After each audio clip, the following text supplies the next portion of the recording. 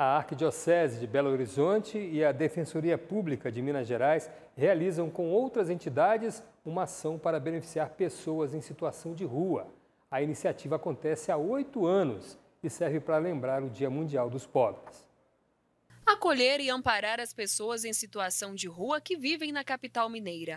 A ação vai acontecer no dia 14 de novembro. Vários serviços serão ofertados nesse dia, além da orientação jurídica é, oferecida pela Defensoria Pública, também vamos ter o acolhimento psicossocial, o banho, para eles através de um projeto é, social, é, a oferta de, de roupas. A Arquidiocese de Belo Horizonte e a Defensoria Pública de Minas Gerais já iniciaram os trabalhos com uma campanha para arrecadar donativos.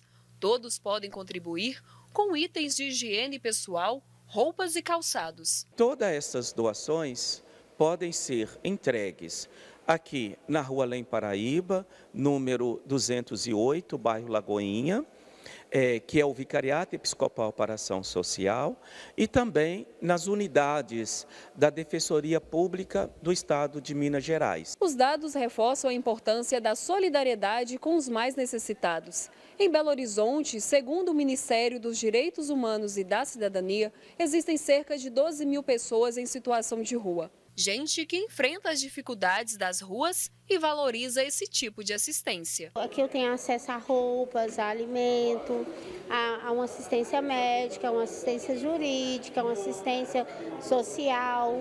É um lugar de acolhimento mesmo, de amor. A oração do pobre eleva-se a Deus é o lema escolhido pelo Papa Francisco para o Dia Mundial dos Pobres deste ano. O pontífice ressalta a força da oração dos humildes e incentiva a realização de obras concretas para ajudar os necessitados. Deus atende e nós também podemos contribuir para que o pobre tenha parte da sua dignidade de vida sendo atendida por cada um de nós.